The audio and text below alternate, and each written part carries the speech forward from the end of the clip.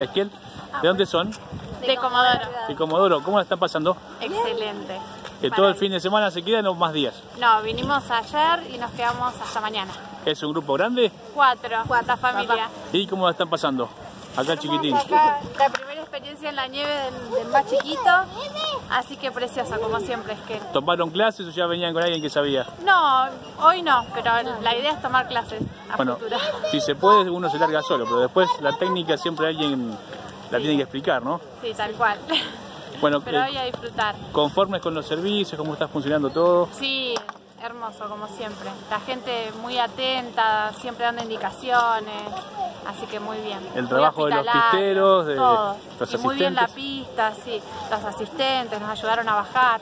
Nosotros teníamos miedo porque de caernos cuando llegábamos con los esquíes, pero no, la verdad que Claro, siempre hay miedo que, hay, que algo que caerse o que algo se pierda, pero siempre hay gente cual. siempre dispuesta a están ayudar. atentos, sí, uno no sabe bien quién es, pero siempre alguien viene y te levanta.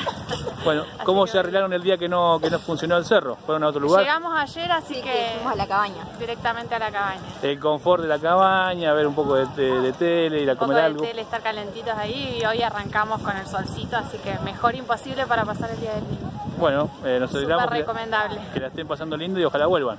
Seguro, seguro. Saludos a Gracias. Comodoro porque nos ven por las redes. Muchas gracias. Gracias.